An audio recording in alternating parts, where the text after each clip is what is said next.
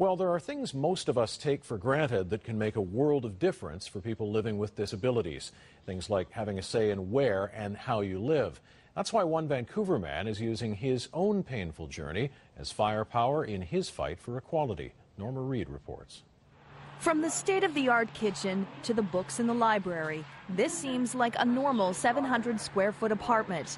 But for the man who lives here, no word can describe what it means. Born with muscular dystrophy, Paul Caune is wheelchair bound and needs a ventilator to breathe. He spent his life in and out of group homes and hospitals, but the worst, he says, was at an extended care facility. Forced bedtimes, a lack of privacy, and showers once a week. One floor was a cuckoo's nest.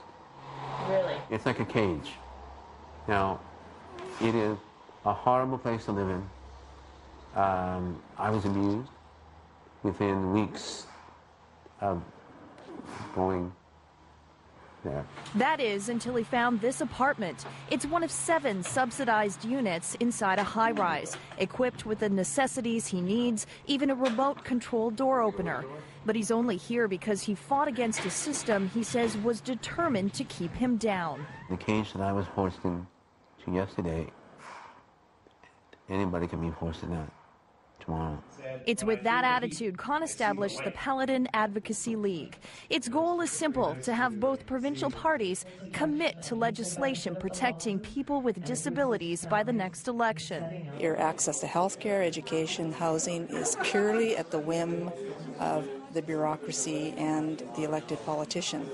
Unlike the United States, where there is very strong legislation, such as the American with Disabilities Act and the Individual Education Act. Laws to protect even the simple things most of us take for granted, like sitting on the balcony and taking in the view. Norma Reed, CTV News, Vancouver.